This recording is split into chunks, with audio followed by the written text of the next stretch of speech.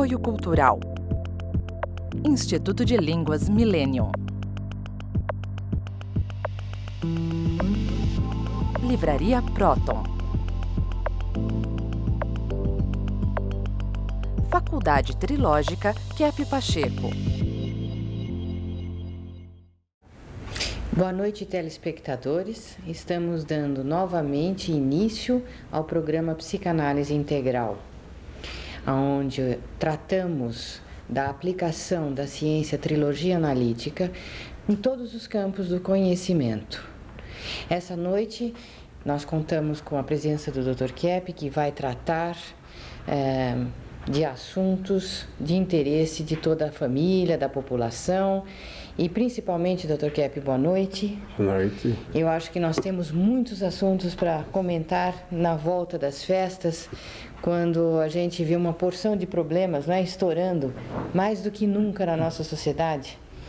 Então eu gostaria que o senhor falasse alguma coisa, se o, se o senhor tem alguma, algum comentário especial, doutor Kep, por que que nessa época do ano, no retorno das férias, a gente verifica esse aumento enorme de doenças, de estresse, de admissões hospitalares, em pronto-socorros, em uh, acidentes, né? Acidentes de automóveis, enfim.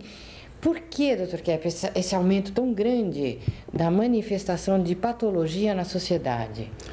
É, é um fato interessante esse, que é muito na, na medicina, é um assunto muito explorado, a questão do estresse, né? O estresse é uma criação, uma palavra criada por aquele famoso médico canadense, Hanseli. E o Hanseli diz o seguinte, que a, questão do estresse seria como o elástico esticado. A pessoa ficaria numa tensão muito grande e não aguentaria, portanto, a situação da sociedade, a, a situação de trabalho, a, a situação assim, de trânsito, a, a situação em geral social que o indivíduo tem cada dia no trabalho, etc. Então, quando o indivíduo vai ao médico, e ele está, vamos dizer, estressado, cansado, assim, abatido. Então, o que o médico fala geralmente é para ele tirar férias.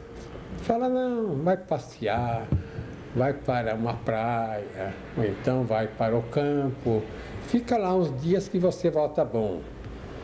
E uma segunda ideia, que aliás vem desde o tempo do Freud, é que lá na Europa né, eles aconselhavam a pessoa a ir para uma estação de águas estação de água, geralmente na Itália. Então a pessoa iria lá por uma semana e depois voltaria, vamos dizer, tranquila, sem os problemas que ela teria no trabalho, assim, cotidiano, etc. Então eu gostaria, Cláudia, de comentar o seguinte. Você acha que realmente é o trabalho que causa estresse? Eu? Bom, doutor Kepp, esse é um assunto assim básico, né, na sua escola.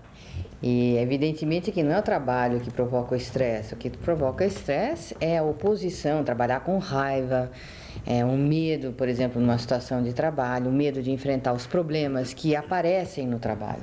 Então você nota que existe uma ideia contrária o trabalho, pelo contrário, como a pessoa pensa, o trabalho dá um certo conforto para certo. a pessoa. É no trabalho que a pessoa encontra motivo para viver. Aliás, 70% da vida da pessoa é passada assim na, no trabalho, numa atividade. E se o indivíduo não tem a felicidade de trabalhar, quer dizer, de estar numa atividade, então aí começam os problemas.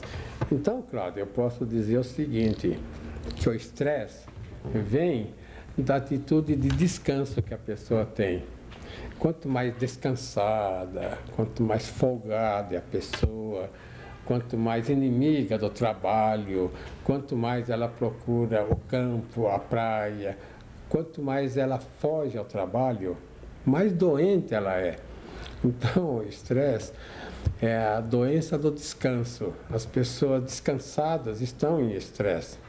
E as pessoas ativas, podem notar, o indivíduo ativo, ele está contente a vida toda. Dr. Kep, mas existem N exemplos a respeito disso.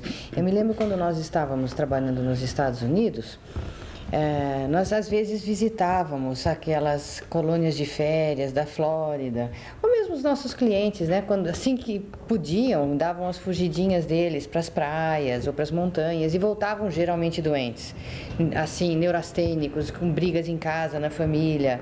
E justamente essas pessoas que ficam depois de se aposentar, viajando o mundo, correndo o mundo, é, que têm meios para poder viver no descanso, eles são extremamente infelizes, ficam só bebendo, uh, doentes, infelizes, um vazio existencial, procurando assim fórmulas de escape para aquela angústia existencial.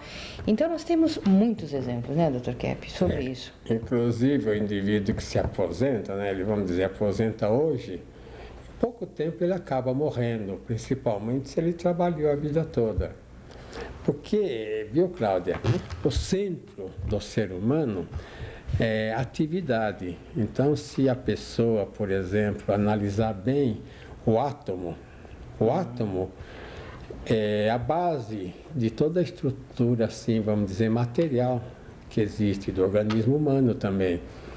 Então, se analisar bem o átomo, a gente vai ver que ele está numa atividade intensa, que aí forma aquela espiral genética. Então, o centro, a vida, vem da atividade intensa. Então, a gente não pode dizer que, vamos dizer que Deus, né? Deus, vamos dizer, o criador da existência, é um motor imóvel, como falava Aristóteles, um motor que não funciona parado. Todos funcionam, Deus é um motor parado. Isso é uma definição errada. Então a coisa mais brilhante que deve ter, mais energética, mais assim esfuziante, seria justamente o Criador. E as pessoas mais inteligentes, as pessoas mais afetivas, são as pessoas mais assim ativas, que exercem mais atividade. Mas na família é muito fácil verificar isso. A, a, a pessoa mais ativa, que mais trabalha, mais produtiva, é a mais paciente é a que tem mais paciência com as crianças, é a que é justamente aquela que a família procura para desabafar ou resolver algum problema que está enfrentando. E aqueles que são, como o senhor disse, os menos ativos, automaticamente são os mais doentes, os mais difíceis, os mais neurastênicos, os mais intransigentes da família. É, então esse assunto, Cláudia, me leva a um outro assunto, a questão do problema. Porque quando a pessoa vai fazer análise, ela então quer resolver os problemas. Uhum. Tudo bem, né? A pessoa tem que, vamos dizer, resolver o máximo de problemas que puder na vida. É claro que o problema é desagradável. Mas eu noto o seguinte, que a pessoa neurótica é a pessoa que acha que tem menos problemas, ou então vê menos os problemas. Uhum. Enquanto que a pessoa mais normal é a pessoa que vê mais problemas na vida.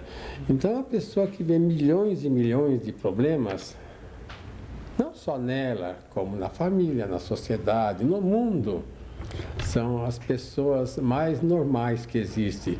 Enquanto que as pessoas que acham que está tudo bem, que não há problema, etc., e que não vê nada, são as pessoas mais doentes. Então, o importante na vida da pessoa não é ela não ter problemas, é ela saber lidar com problemas, né? Então, como se fala, o indivíduo tem que ter um ego forte, uma estrutura forte para lidar com os problemas, porque qualquer atividade, vamos supor aqui na está fazendo a gravação né, do programa. Então tem o problema com a câmera, tem um problema com o microfone, tem um problema com o barulho, tem um problema disso, com o problema daquilo. Então, ao mesmo tempo, todas as pessoas que estão trabalhando aqui estão lidando com uma série de problemas. Então, o médico é problema orgânico que ele tem que, que trabalhar a vida toda.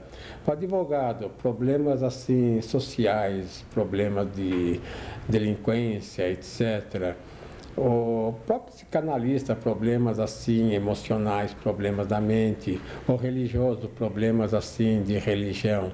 Então estou dizendo o seguinte, que o que caracteriza o indivíduo normal do indivíduo muito doente é que o indivíduo normal ele vê mais problemas e lida com os problemas. O indivíduo doente, ele vê menos problemas e um probleminha do tamanho de um grão de feijão, como se fala, né? Ele se afoga num copo d'água. Uhum. Então, o indivíduo doente é aquele que não aguenta nada. Qualquer probleminha fica desesperado. Isso. E então, se nas férias a pessoa justamente vai naquela ânsia de sair dos problemas, da consciência de não ter problema nenhum, e lá então vai ter que encarar uma porção de outros ainda que não tem no dia a dia, normal do seu trabalho, então entra naquele conflito, naquele choque, naquele estresse violento. Agora, eu, eu acho muito bonita aquela definição que o senhor deu, doutor Kepp, num seminário de produtividade, que o valor de um indivíduo se mede por sua capacidade de resolver problemas. Numa empresa, o valor de um indivíduo é esse, basicamente. Então, no próximo segmento, eu gostaria de voltar com o senhor nesse assunto e ver essa questão, doutor Kepp, porque muita gente pensa o seguinte: mas por que, que eu vou fazer psicoterapia? Eu vou fazer análise para cavar e ver mais problemas ainda do que eu já tenho que ver no meu dia a dia, então não vou ficar pior fazendo análise? Então, eu gostaria de daqui a pouquinho retornar com os telespectadores para darmos seguimento a essa nossa a discussão dessa noite. Até já.